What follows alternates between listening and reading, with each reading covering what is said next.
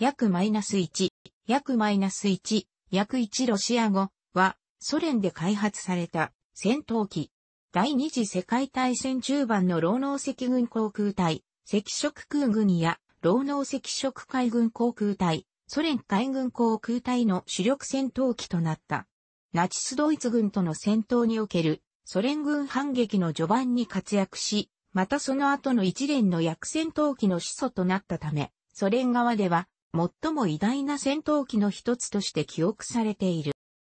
名称は日本語文献では日本語のローマ字表記に従って約マイナス1と書かれるか、そのローマ字読みで約1と書かれることが多いが、一方でジャックマイナス1と書かれることもある。これは言語によってロシア語の文字の転写が異なることに由来する。ドイツやポーランド、チェコなどの東欧圏では使用言語の発音表記上の規則に従ってジャックマイナス -1 と書かれることもっぱらである。また、ソ連科学アカデミー、現ロシア科学アカデミーの採用した正式の転写法でもジャックマイナス -1 となる。一方、ルーマニア語を用いるルーマニアやモルドバでは、アイクマイナス -1 書かれる。その他、表記のバリエーションとしては、ロシア語でも、他言語でも、や軽版などと、すべて大文字で書かれることもある。1930年代末、スペイン内戦やノモンハン事件で、すでに性能不足を露呈していた、それまでの主力機に代わる、新たな戦闘機の開発が国内の各設計局に対し命ぜられた。以前より多くの戦闘機の開発に成功し、戦闘機の王様と呼ばれていたポリカールポフ設計局に加え、ヤコブレフ、ラーボチキン、ミグ、スホーイなど多くの設計局が新型戦闘機の説に着手した。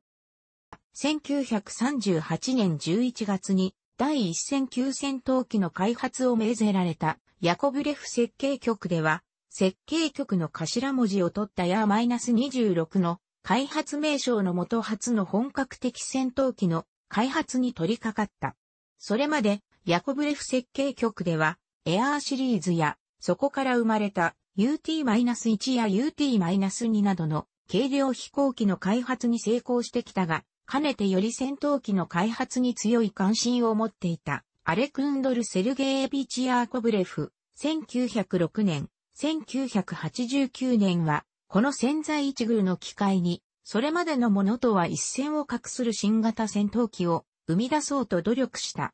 設計された機体には、設計者同士のつながりからクリーモフ設計局製のエンジンが搭載されることとなった。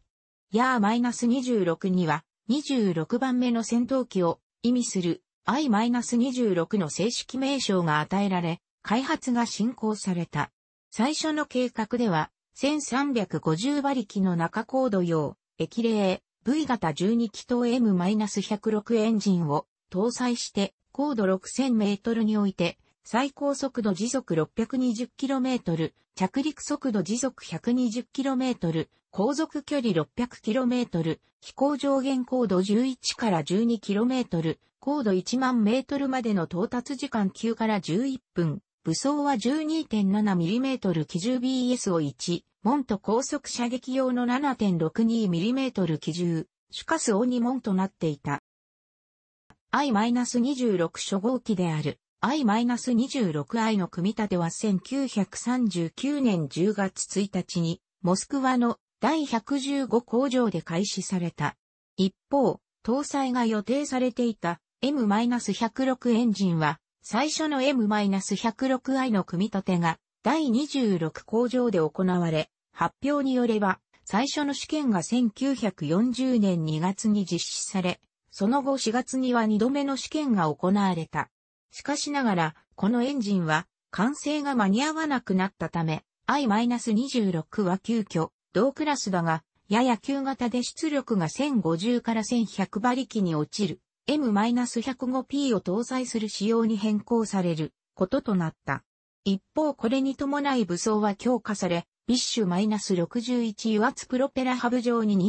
20mm 機関砲である MP-20 または ShVAK が搭載されることとなった。主翼下面と尾部の3箇所にある降着装置は、主輪の一部が露出する引き込み式とされ、その上げ下げには、空気圧が使用された。また、ジュラルミン製分割式フラップもそれ同様、空気圧によって作動するものとされた。空気抵抗を減ずるため、グリコールを使用するラジエーターと潤滑油冷却機は、主翼公園仮面に取り付けられたダクト内にまとめて収められた。I-26i のキャブレター空気取り入れ口は、機種部分仮面ではなく主翼付け根仮面に取り付けられていた。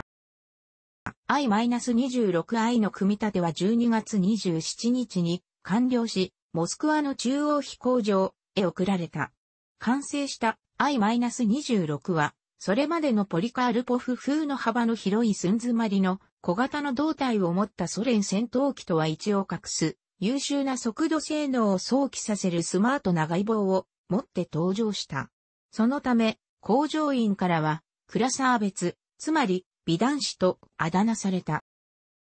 I-26i は、年の明けた1月5日より飛行試験に入り、1月13日には初めて完全な飛行を果たした。試験飛行における操縦は試験工場の主任パイロットであるユリアーン、イバーノビチ・ピヨントコーフスキーによって行われた。並走や無線装置は搭載されずに行われた初飛行では、当時一般にまだ技術的に完成域に達していなかった引き込み式の膠着装置も、雪氷の悪条件の中順調に作動した。新型機の試験は緊張の中続けられ、月内に10回の試験飛行が遂行された。だが、燃料系統が計画通りに働かないという事態が発生した。つまり、燃料系統のアルミニウム配管に疲労破壊が多発し、そのために飛行中に火災がたびたび発生した。また、空気圧系統も不調で、機重射撃ができなくなったり、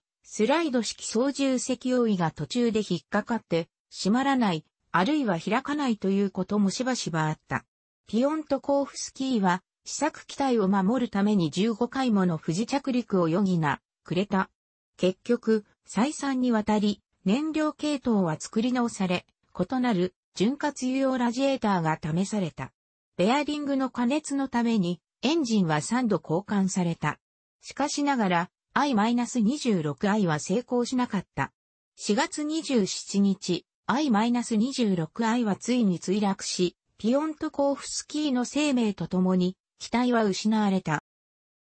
2号機である I-26-2 は I-26i の墜落以前の3月26日に飛行状態となった。一方、4月11日には2人目のテストパイロットセルゲイ・アレクサンドロビチ、コルズイン・シチコフが試験に迎えられた。工場試験で1機種に対し複数のテストパイロットをつけるのは、これが初めてのことであった。I-26-2 には I-26i の試験で明らかになった欠陥を修正するための他の改善点が盛り込まれていた。潤滑油冷却機は主翼付け根仮面から機種の下へ移され、キャブレター空気取り入れ口を主翼付け根に分割、胴体幅はキャビンの後方で従来より拡大された。垂直尾翼の翼弦も広げられた。また、機体の軽量化と生産性と整備性の向上のための構造の簡略化として、膠着装置の内オリンの引き込み装置を廃して固定式とした。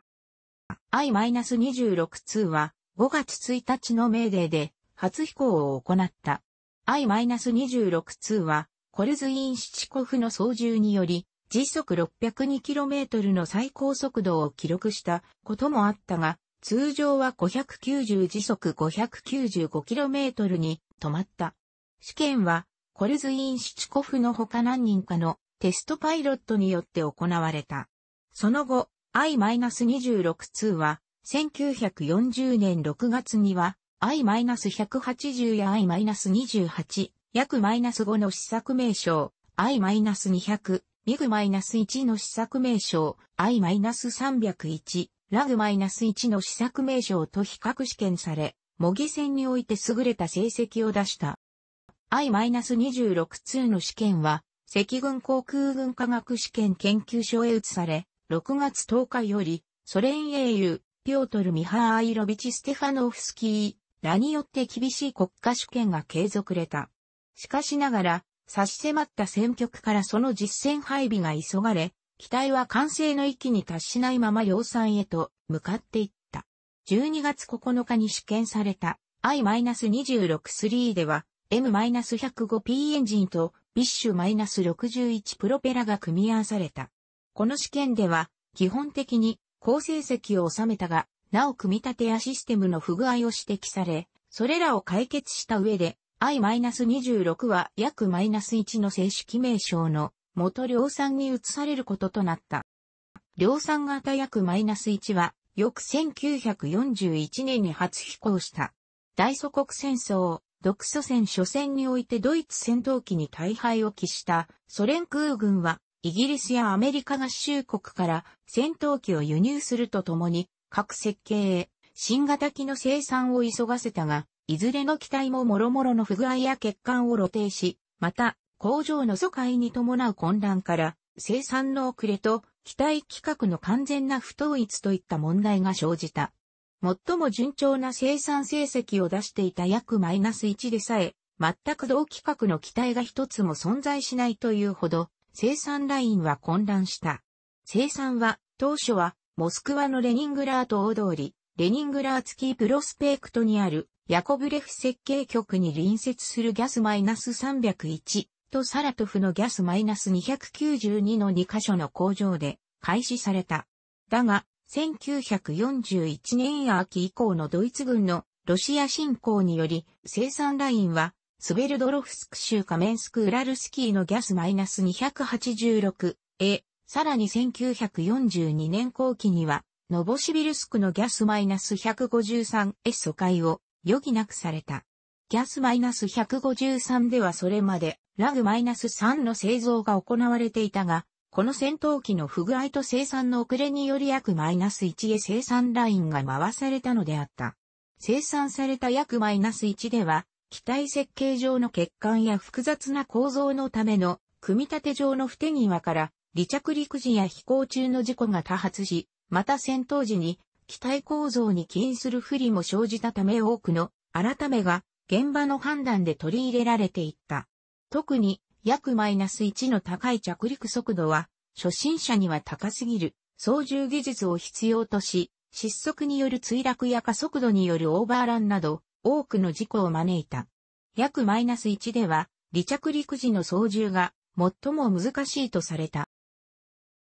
約マイナス1は当時の戦闘機の中でも最も軽量な機体の一つであった。約マイナス1は低翼機で機体は混合構造であった。すなわち胴体の骨組みはクロマンシル、クロムマンガンシリカ鋼の溶接管で、機種外板はジュラルミン製、尾翼はハフ製、主翼の大部分と後部胴体はいわゆるデルタ合板で作られていた。デルタ合板は積層材の一種で正式には DSP-10 によって開発された。DSP-10 はフェノールホールムアルデヒド樹脂をアルコール溶液によって浸透させ、加熱によってプレス加工した薄い白樺材をビアム ZB と呼ばれる接着剤で互いに貼り合わせたもであった。デルタ合板は大変丈夫で耐火性に優れるという長所を持ち多くのソ連機に使用されたが、その反面で重量がかさむという重大な欠点を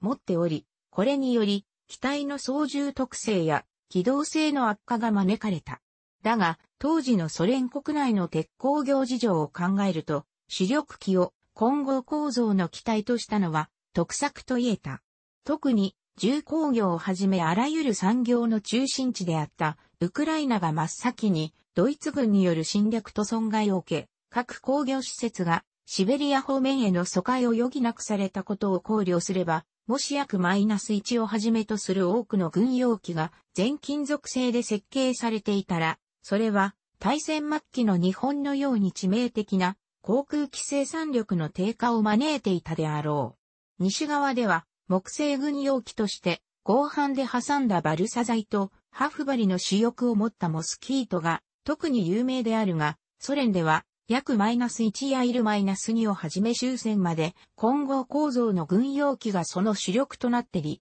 モスキートもソ連ではごくありふれた構造を持つ航空機の一つでしかなかった。ソ連で全金属製の機体が主力となるのは 1500-9P やらマイナス -9 が配備されてからである。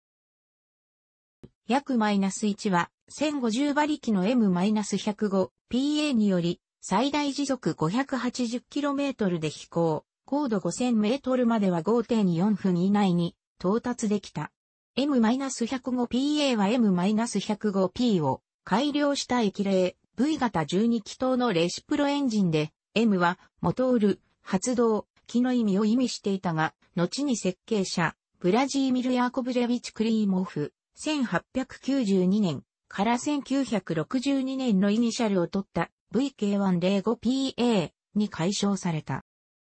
約マイナス1の武装はすべて胴体に集中位置されており、20mm 主爆1門がエンジンのプロペラハブ軸上に 7.62mm 主カス2門が機種エンジン上面に並べて搭載されていた。この武装は当時としては強力なもので、同時期に開発されたミグやラーボチキンの機体は7.62 7.62mm や 12.7mm 機銃しか搭載していなかった。これらの機体が打撃力不足で泣いたのに対し、約マイナス1の 20mm 機関砲主爆は脆弱な防御しか持たない当時の多くの機体に対して一撃必殺の威力を発揮した。主爆は大型の爆撃機に対しても大きな威力を発揮した。ラグマイナス -3 の初期シリーズが搭載していた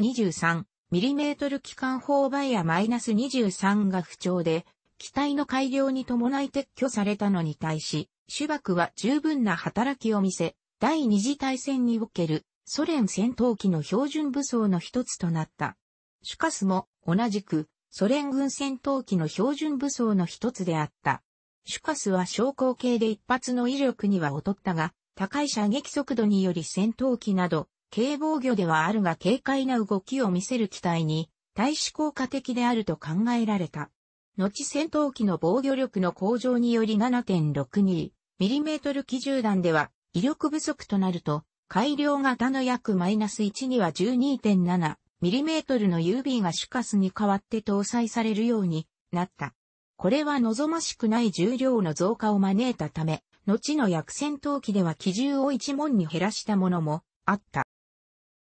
約1は開発時の仮想敵機の一つであったナチスドイツ空軍の BF-109E に対しては有利に戦闘を遂行する能力を持っていたが、大幅に性能が向上した新型の BF109 回に対しては若干分悪かった。そのため、登場直後からすでに改良型の完成が強く求められた。約1の搭載エンジンは当初の M-105P から改良型の M-105PF に生産の途中から変更された。また、後方視界の悪さも深刻であった。幾度か改良作業が施行されたが、結局は抜本的な機体構成の変更が必要であることが明白となり、いわゆる水滴風防と呼ばれる形の操縦席風防を採用するため、後部胴体の高さが減ぜられた。風防ガラスの透明度の低さも問題で、一説には、瓶底から覗いているようだと形容され、品質向上が求められた。また、前方特に下方の視界が悪かった第一風防の形状は約マイナス1でもいくつかの型が試され、後継機の開発過程で徐々に改良されていった。水滴風防と VK105PF エンジンを持つ機体は約マイナス 1B と呼ばれている。約 1B の基本デザインは後継機の基本デザインを決定づけ、戦後の約 9P までそのデザインは基本的に変更されなった。翼服を減じた新しい主翼の採用により、低空性能を向上した約 1M は、最良の薬戦闘機と謳われる約3の元ともなった。また、約マイナス1の練習機型として、約マイナス1から開発された約マイナス7は、約マイナス1よりも優れた性能を示したため約マイナス1に代わって、戦闘機として用いられるようになり、後にもう一つの主力戦闘機約マイナス9を生み出した。約マイナス1は、その登場時にソ連を取り巻いていた情勢から、対独戦の行われていたヨーロッパロシア、ベラルーシを含むバルト海方面、ウクライナ、カフカース、ベッサラビア、国会方面などでの活動が特に知られている。約マイナス1は、それまでの I-16 に代わり、ソ連の主力前線戦闘機となった。この機体を操縦できれば、操縦できぬ機体などないと言われた、全人機ほどではなかったが、混合構造機である約マイナス1の飛行特性は、初心者には極めて扱いにくい癖のあるものであった。その上、操縦システムに関しての容易化のための自動化は限定的で、当時としても大変原始的な操縦システムを搭載していると言わざるを得なかった。だが、熟練者が操縦すれば、ドイツ空軍の主力戦闘機 BF109 にも劣らない高い能力を発揮し、多くの撃墜用も誕生した。数多くある約マイナス1を装備した部隊の中で、特に有名なのは、スターリングラード近郊の町サラートフの防空を、司った第586戦闘飛行連隊である。この部隊は、戦前より、著名な女性飛行家であったマリーナ・ミハーアイロブナ、ラスコーバトモや11機の撃墜が公認されてい、エカテリーナ・バスイリエブナ・ブタノーバノナで、一躍ヒロインに祭り上げられた。その他、約マイナス1を操縦した撃墜王、ソ連英雄は、ロシア出身のアレクセイ・ミハーイロビチ・レシェトフ、パーベル・イーリーチ・パーブロフ、パーベル・ペトロービチ・カラバイ、イワーン・フェオクチーストビチ・ポポフ、カザフスタン出身のセルゲイ・ダニーロビチ・ルガーンスキー、クリミアタタール出身のスルターン・ヤメート・ハン、など、枚挙に暇がない。だが、一般に、約マイナス1登場前後、対戦初期における、ソ連のパイロットは、民間航空や航空クラブ、農業機のパイロットなど民間出身者が多く、操縦技術は優れていても戦闘技術がなっておら、機体の不良と相まってドイツ軍戦闘機相手に苦戦を強いられていた。ソ連ではこうした多くの一般人民が優秀なパイロットとして祖国を守ったと宣伝していたが、実際には彼らの多くは、個人の未熟な戦術と上層部の拙劣な戦闘指揮から悲惨な最後を遂げていた。対するドイツ空軍からは100機を超える撃墜数を誇る撃墜王が誕生していたが、彼らの戦果の多くはソ連軍相手に戦った東部戦線におけるものであった。ソ連はウクライナやベラルーシにおいて多大な犠牲を払い、首都モスクワやレニングラードを含むヨーロッパロシアは大きな戦果を被った。ドイツ軍は電光石火の進撃により、たやすくソ連を粉砕し得るものと宣伝した。しかし、経験を積んだソ連軍部隊は徐々にその能力を上げていった。戦闘機部隊では約マイナス1が絶え間ない努力によりいかなるドイツ軍戦闘機にも引けを取らない機体へと改良されていた。それ以上にパイロットの手腕は経験の蓄積により、技術的にも戦術的にも劇的に向上していった。大戦中期以降、ドイツ軍はかつてのような一方的な戦闘を行うことは不可能にな、った。ドイツ軍は多くの熟練者を戦闘で失い、指揮系統は混乱していた。また、占領地域での悪質な統治で嫌われたことも戦争遂行の妨げとなった。ドイツ軍爆撃機部隊は長らく1087、1088、HE111、ド17などを主力としていたが、強まるソ連軍防空戦闘機の反撃に対し、機体の防御機銃を増設するなどの対策を取った。だが、機銃の増備や装甲板は重量の増加と飛行速度の低下を招き、ますます高速重武装化するソ連軍戦闘機の前に劣勢を強いられた。さらに、厳しい冬の気候もドイツ軍を苦しめた。もっともこれは、ドイツ軍側にとってのみのことではなく、ソ連軍側にとっても同様に厳しいものであったのだが、ソ連軍の装備の方が、氷雪の中での稼働率に優れていた。約マイナス1など多くの機体で、冬季専用の装備を持った機体も配備された。これは、通常の車輪式膠着装置に変えて、スキー板を履かせたものであった。第一次世界大戦時より、戦後のジェット機時代に至るまで、航空機にスキー板を履かせることは、ソ連の凸の伝統と言えた。スターリングラードの戦い以降のソ連軍の対独反撃の初期に目覚ましい活動を見せた約マイナス1は、それ自体はドイツ軍戦闘機に対して圧倒的な優位を獲得するには至らなかったが、ドイツ軍への反撃の効果を上げた、新生ソ連軍の象徴的な戦闘機となった。薬戦闘機は、朝鮮戦争において、ミグ -15 が登場するまでソ連戦闘機の代名詞となったが、その輝かしい歴史は、約1から始まったのである。そのため、機体の抱えていた数々の欠陥にもかかわらず、今日もロシアなどでは約1を最も偉大な戦闘機の一つに数え上げる子も少なくない。約1はソ連のポーランド人部隊である第一戦闘飛行連隊ワルシャワやソ連のフランス人部隊として機能した自由フランス空軍のノルマンディ2面、ノルマンディ2エメン、ノルマンジア、ネーマン、ノルマンディ2エメンなどともでも運用され、ソ連人以外にも比較的な地味のあるソ連製戦闘機となったが、後継機である約マイナス9が広く海外で運用されたため、約マイナス1はそのほとんどがソ連国内で現役を終えた。例外はユーゴスラビアで戦後ごく少数ではあるが、約マイナス1が運用された。また、戦時中に捕獲された、いくつかの機体は、黒い十字架を機体に描かれ、ドイツ空軍で試験運用された。